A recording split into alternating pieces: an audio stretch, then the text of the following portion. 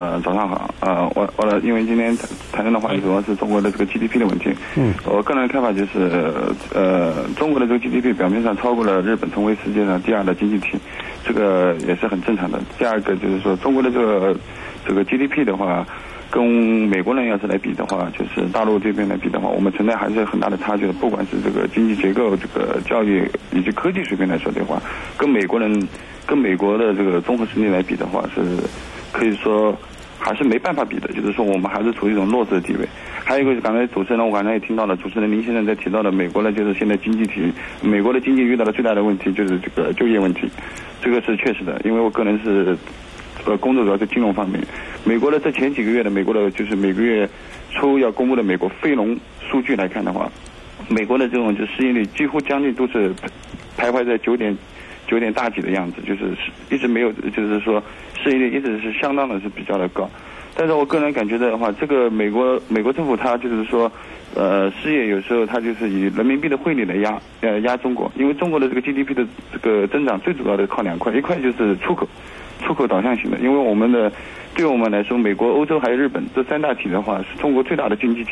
也就是所谓的贸易伙伴。嗯。还有刚才主持人也提到的，就是就是说。这个美国的就是这个 GDP 的年增长率达到百分之三点几，中国的经济增长率平均达到百分之八，呃，好像说就是中国的这个增长的速度比美国人要高，呃，美国人低，中国人有点高兴，实际上错的了，因为中国的这个就是 GDP 的主要的方向是因为出口，靠出口赚钱，呃，这个贸易的顺差，因为如果美国的经济不好的话，对中国来说这是一种致命的打击，也就是说美国的经美，喂。哎，好像这个江苏赵先生的这个线路断了啊。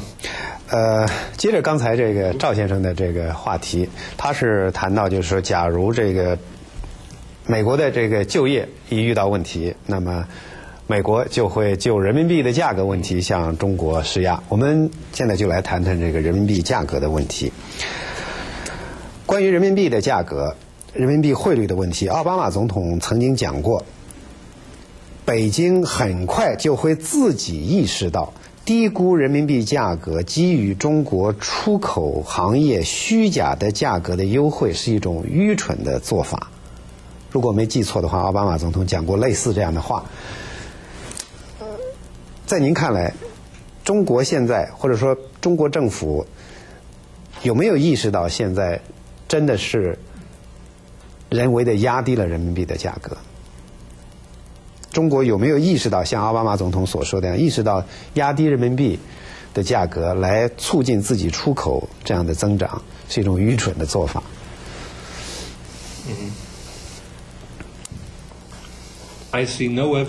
那我看不到，就是。中国政府他们这一方面就说认为把把人民币低估啊是一个错误的政策方面的任何的一些证啊证据，而且我认为所有的证据呢都表明，就说把啊中国政府认为他们把人民币低估呢是一个基本的这个经济措施和政策，而是为了保持它经济增长，而且也是一个政治方面的一个策略，而且很多中国领导人做的这些啊讲话和这个声明的话，那么都表明人民币的这个就是说呃汇率的控制的话，主要就是以推动中国的这个出口，因为中国的这个出口不仅仅是占 GDP 经济增长的啊很大一部分，而且呢，也就是呃对中国的这个就是啊啊。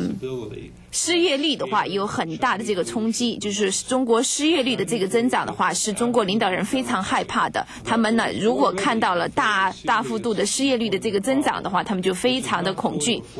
而且在这些呃中国经济数据中的话，我觉得失业率的话可能会有还没有完全的表明出来。如果中国的失业率增长啊增增高，就由于呃中国出口的这个萎缩，那么这是中国领导人最不啊最不愿意看。到的，他们最害怕的是失业的这些下岗工人，然后上街游行示威，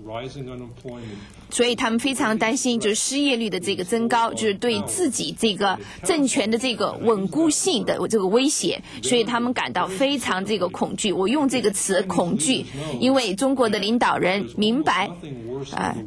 世界上最糟糕的一个事情的话，就是成为一个前领导人。那么他们会采取任何方式和手段来坐在自己的位置上，所以鉴于这个原因啊，我们不应该指望就是中国政府会自动的调整他们的人民币的汇率啊的。呃，比如说有些就是领导人，或者是中国某一个地方的领导人，可能会对这个呢持比较开明的，或者是比较支持的这个态度。但是呢，而且中央行里也表明了这方面的一些松动。但是人民币整个汇率的这个调整，就是有意义的这些调整的话，我觉得的话是非常难的。所以归根结底，就对中国领导人最重要的是，他们一直要啊保住自己的这个就是说政权，所以他们就必须要通过把人民币压低，然后呢就使得出口稳定，而且呢要就是压低失业率啊，只有通过这个就是啊这个措施，他们才觉得自己的这个政权能够保住。嗯，先生接着您这个话题，我现在念一封电子邮件，是我们的一位观众，呃发过来的。我们这位观众说，中国经济发展对老百姓没有带来实质的幸福。看看中国现在最底层的人们，看不起病，买不起房，仍然生活在水深火热之中。不要看表面的现象，中国经济和老百姓有什么关系啊？这显然是一句牢骚话。接着刚才人民币的话题，呃。美国这边很多专家认为，中国把人民币的价格至少是人为的压低了百分之四十，呃，一直敦促中国要提高人民币的价格，一直是美国呃在敦促中国这样做，啊，在几乎在每一个场合，美中两国的官员、高层的官员在见面的时候，可能都会谈到这个话题。现在在美国。呃，有人提出来说，如果只是美国采取这样的单边的行动，可能 不会很快的奏效。刚才像你刚才所说的样，中国政府并没有意识到这个问题，他们不承认人为的压低了人民币的价格。现在在美国有人提出来要采取多边的行动，比如说不要一对一的谈了，要那我解读这个意思就是要联合其他的国家，比如说欧盟，比如说日本，联合向中国施压。你怎么看这样的一些建议？人民币升值真的就能解决美国的就业问题吗？我完全同意。当然了，就如果世界其他的国家能够和美国联合起来向中国施压，当然是最好不过的。毫无疑问，多方的策略从理论上来讲的话，应该比这个单方的策略有效。而且呢，我要说明一点，有的听众呢，他们说的这个词就用压力或者施压，比如说呃，美国呃给中国施压，我完全不同意这种说法。我认为呢。就是非常明显的，就是没有施压或者是加压这个字。施压的话，表示是什么？你采取行动来迫使对方来做出反应，或者是啊，是面对某种结果或是后果。但是呢，现在看来，美国政府没有采取任何有意义的这些行为，所以呢，不应该称之为施压或是加压。然后你回头谈到这个多方策略的这个问题，呃，其他的这些国家啊。就是很多时候呢，就是口头上就是做出这个中国人民币汇率这些批评，但是呢，却没有采取行动。比如说国际货币基金组织啊。然后他们的这些就是，呃，他们的这个表态，那么也是一样的，就是他们只是口头上的就进行，就是呃批评，所以整个这个国际社会的话，那么并没有向前迈进一步，反而还退后了。对任何就是头脑公正、就是呃思维清晰的这些人士来说的话，就是国际的这个压力了，不能替代美国的压力。而且呢，呃，我觉得美国压力可能会造成更多的这个带来更多的这个国际压力。但是不管怎么样的话，美国压力应该自己把握在自己的这个手里。我们一定要保证，就是说是我们应该就是更快的、更有效的、就是更有意义的，就采取。更呃，采取行动啊。嗯，我们今天讨论这部分还有差不多三四分钟的时间。我们现在还有很多观众和听众，我们在呃呃快一点的接两三个电话。好，下一位是山东的观众周先生，周先生你好。山东周先生，呃，专专家，如果就是中国政府，嗯，想扩大中国的这个国国内的需求，就是扩大内需，嗯，让民众就是嗯消费的热情是提高。这对中国的这个可持续发展，对中国经济的可持续发展有有没有好处？嗯，因为现在就是说，普通的居民收入都非常有限，会不会，嗯，受益的只是一些外外国的公司，还有本国的一些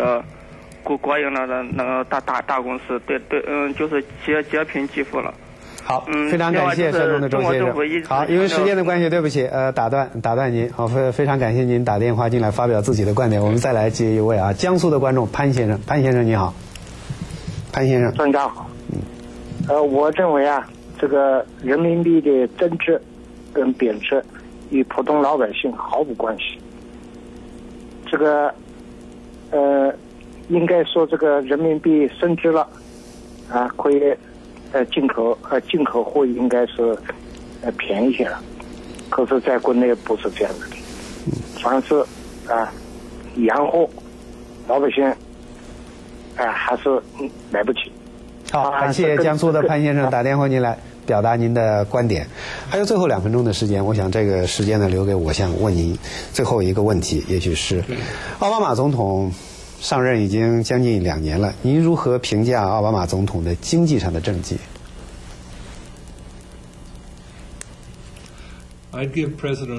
我给他